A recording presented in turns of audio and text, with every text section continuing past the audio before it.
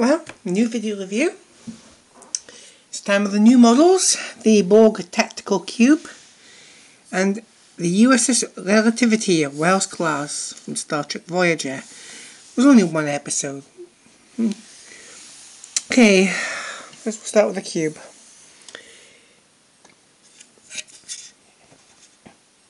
It is very detailed, I will say. It's a lot smaller than the than the free gift or than the, than the free Borg cube that you get if you're a subscriber. It's much much smaller, but it has a lot of detail.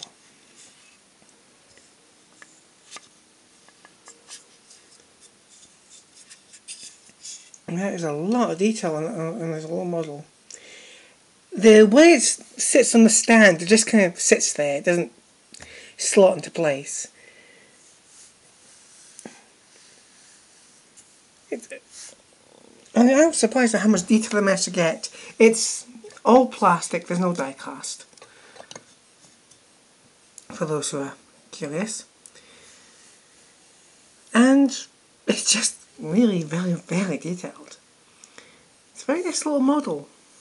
It's a bit odd because the, the it seems, it seems a bit out of scale with the Borg cube that was free for was free for subscribers because the tactical cube is considered actually much bigger than the general Borg cube. Still, no matter. It's, still a very impressive model. So, on to USS Relativity. The USS Relativity was in one episode itself called Relativity in Voyager Season 6. And it is a very interesting design It has some die cast, mostly just around, mostly just around, okay, on the limbs. It's not a huge amount. It's just enough.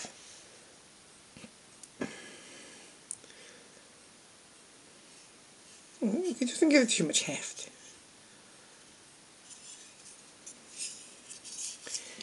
One of my characters in Star Trek Online uses this ship called the USS Medsworn. Basically a medical ship.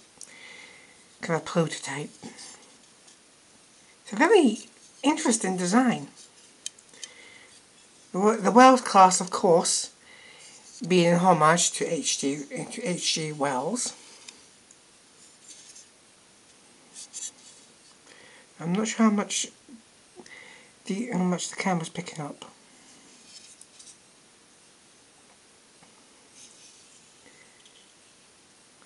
this model is very interesting.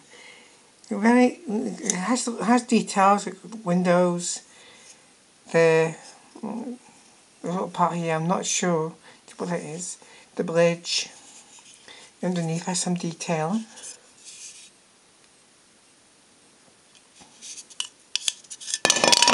Oh dear, my hand-eye coordination is getting worse. Thankfully, this model is pretty solid. It's a very impressive model.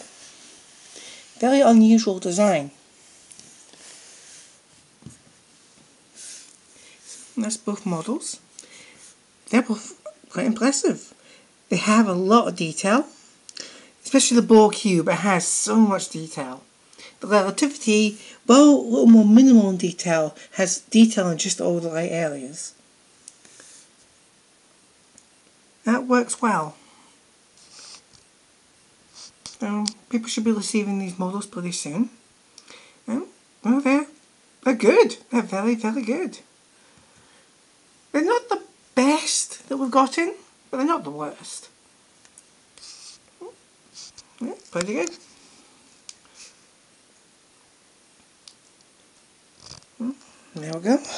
I'll try and get as much in Okay, right, I'm going to keep these videos short. So this is Elena Watts signing off for another month. Impressive models.